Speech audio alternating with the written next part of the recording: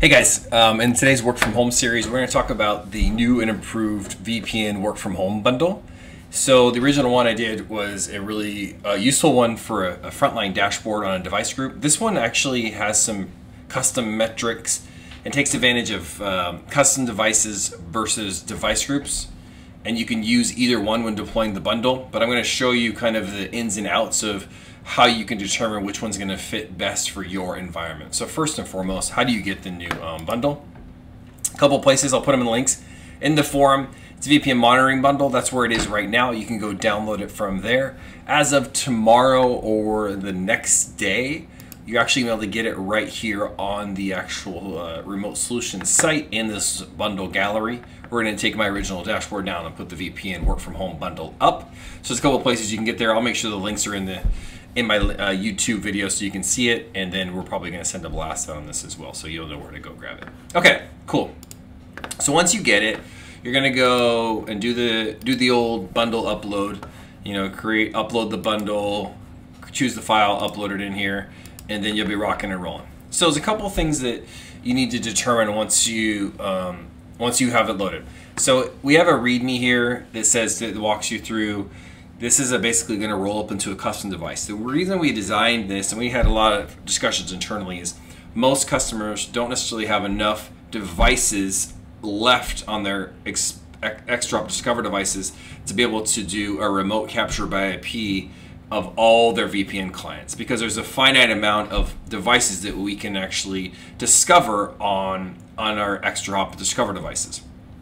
So what a custom device allows us to do is roll all the VPN client subnets into a single custom device or multiple custom devices and allows us to apply uh, metrics and knowledge and trigger to that, right? That's what we're doing here is we're applying some trigger work to that to be able to provide you the details I'm going to show you today. So let's kind of walk through very briefly each of those concepts. So how do you know whether to do a custom device or device group? If you can, a device group is going to give you more details it lets you do better breakdown. You can apply things like alerts. You're going to have individual devices for every single laptop and every single device connecting to your VPN. A custom device is going to roll all into one. The trigger knowledge is going to scoop the details out of it, but it only counts as a single device against your overall device count. So, well, how do we figure out how many devices I have? How do I determine a decision? Click the gear up here, click Analysis Priorities. How many do you have in advanced analysis available? If you have a thousand VPN clients and you have 2,000 available, it's okay to do Discover by IP and you can rock and roll. If you don't have that many available in advanced analysis, you're going to want to do a custom device. And you can always reach out to your ExtraHop account team to be able to help with this choice as well. But just know the analysis priority is really going to dictate to you whether you need to be able to do advanced analysis um, or whether you need to do Discover by IP and allow those VPN clients to roll in and as individual devices, and then you create a device group, or you're going to be able to create a custom device and have a single single device for all of those. And again, your ExtraHop account team can absolutely help you with this decision. But the gist of it is if you have the device load available here in your advanced analysis, that it is more than your VPN client, you can use device group. If you don't, you're going to use a custom device. It just depends on how your individual use. Most customers are probably going to do a custom device, so that's how we design the bundle. So let's walk through very briefly how you would do each. If you decide to do discover by IP and you have you have these subnets that are out there and they're not local devices yet, you typed in the individual IP address of of that particular device and you don't see it, you're like, okay, it's not a local device. Okay, uh, but I want I have enough here and I want to bring it as a local device. How you're going to do that here is you're going to go to administration. That's going to bring the admin UI up. You're going to go to capture and you're going to go to um, discover by IP here, device discovery, sorry. And then you're going to type in each individual subnet that you want to discover that's not local. This tells the ExtraHop to say, hey, even though this IP range is not local to the ExtraHop, I still want a device for each of those. And that'll start to tick up your device count. But if you have those available, that brings them as local and you can treat each device individually. That's so you want to put each of your VPN subnets in here, hit save, as we see those IPs, we're going to build devices. You can then build the device group for those in ExtraHop and then apply that to that dashboard. Great. Okay, so we covered that part.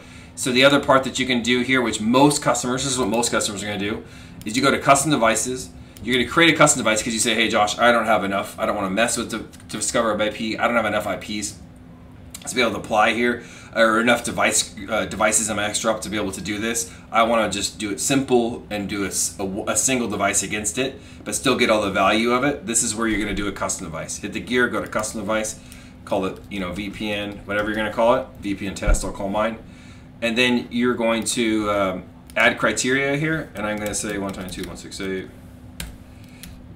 0.1. And this is a choice, a personal choice you're going to have to make in each environment. Is do you do multiple subnets or do you do each subnet? You could break this down to a custom device per, hey, this is VPN A, this is VPN B, this is VPN C.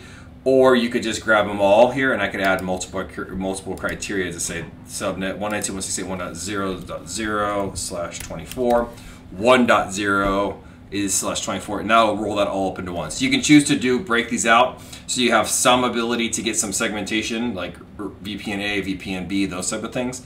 That's a choice. You can work with your ExtraHop team on that as well. But the gist of it is you're able to roll all those clients up into a single device with a custom device. Once you have that uh, made, you're then going to go out here and you're going to go to your dashboards. And here's the dashboard that's included in the bundle. So here's the here's the gist of it though. Um, essentially, this dashboard is going to default to a custom device.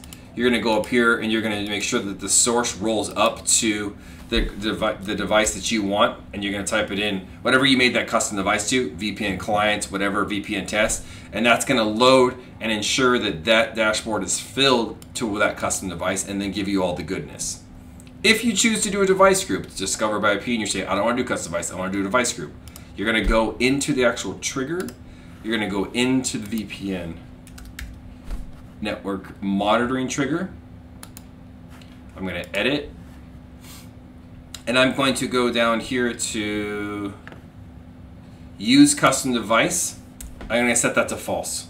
So default is a custom device. If you set that to false, you can then apply that dashboard to the device group that you've rolled up into your VPN client's device group. So that's your choice. Custom device, device group, really there's no right or wrong. There's just each customer is gonna be a little different. We wanted to give you those choices. By default, custom device is the, is the way to do it. If you change this to false, you can then apply it to your VPN client device group and it'll work the same way, but you're gonna have more detailed metrics as you drill down.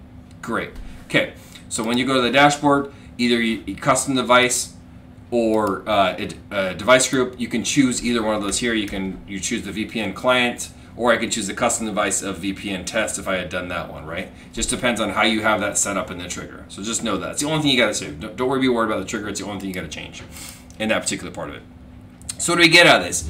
So we're able to get throughput, internal, external bits. We break out these flows by conversation so you can see who's who's having conversations across the cross of VPN. Is my split tunneling set up correctly? So if I don't have split tunneling set up and I have everything, all of my Zoom or Teams traffic going back through my data center, do I really need to do that? no right or wrong there, but typically you want to do a split tunnel to where that Zoom traffic goes straight out to internet and doesn't burden your data center when everyone's working from home and taking up all that bandwidth, right? So this allows you to quickly see, oh, I don't have that set up on this subnet or VPN.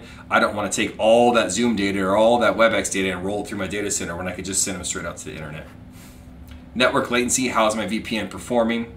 Bandwidth consumption, who, what individual conversations are taking up the most traffic on my VPN?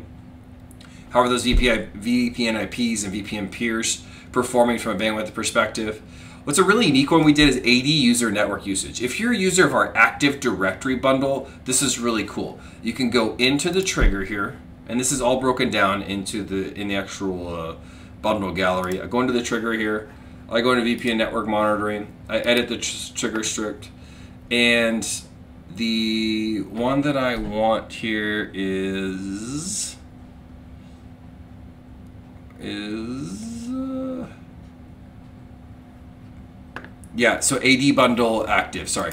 So is on true so that'll be default to false typically. So you want to be able to, to look and see like hey is the ad bundle active? If it is set that to true. What the ad bundle does is it takes the usernames that were seen by IP, stores them in the session table, and then this this particular bundle could scoop them up and associate it with them with IP.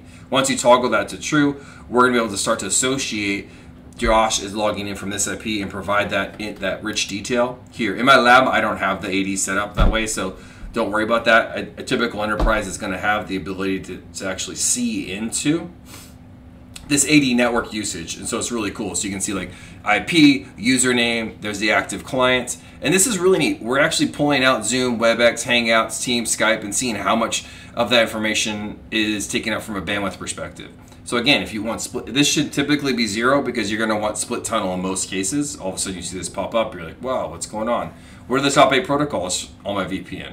Where's that network latency happening? by conversation. Those details, these are all click. You can click in on all these. And where's that individual VPN slowness? Okay, cool. So in recap, I know we covered a lot in here. Custom device or discover by IP an individual device via device group. That's the choice you got to make. And then you got to look at advanced analysis to make that choice. Do I have the device count on my Discover to be able to do a Discover by IP? If I choose to do that, I'm going to do an administration and bring those subnets in, create a device group, and apply that here. If I choose not to do it, to do it the way the default way is, I'm going to create a, uh, a custom device, roll all my VPN subnets into that, apply that to this dashboard, everything will start populating, and I'm going to get all my VPN goodness. All right, good to go. I know it's a lot to cover this. Please get with your ExtraHop account team. That'll really help to be able through this process. We're here to help. That's what we want to do. We all have a lot of time on our hands because we're sitting at home. So hit us up. We'll, we'll make ourselves available to you. But we're going to be able to ensure that we can make that, that informed choice whether you do custom device or discover by IP to be able to get you the richest data possible based on your deployment. Thanks, guys.